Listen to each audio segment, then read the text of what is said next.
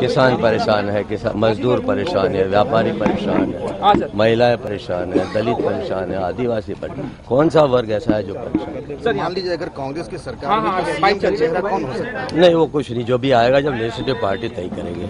ये जो आपके नाम के पोस्टर लग गए थे सूरत में उसके मैंने क्लैरिफाई ऑलरेडी कह दिया इट इज़ ऑल बेसलेस पहले भी मैं कभी था अभी हूँ और फ्यूचर में भी कभी रहूँगा सीएम का कैंडिडेट और ये जो नीच वाली जो बात जो कही जा रही है जिस पर अभी भी उसी तो कांग्रेस ने एक्शन ले ली। इससे पहले यहाँ के जिम्मेदार लोगों ने सोनिया जी के लिए क्या क्या कहा है कांग्रेस के नेताओं के लिए क्या कहा है राहुल जी के लिए क्या क्या किसी एक के भी भी एक्शन लिया है क्या? तो मोदी जी ने तो लंबी लिस्ट लाई लाई कल और सबके नाम गिनाए दिग्विजय सिंह से लेके सबके। तो हमने भी तो लंबी लिस्ट गिनाई है। तो सोनिया जी को क्या क्या नहीं कहा था?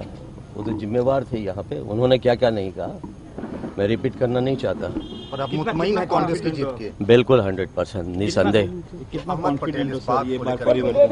बिल्कुल हंड्रेड परसेंट एक सौ दस से ज़्यादा सीटें आएँगी कांग्रेस।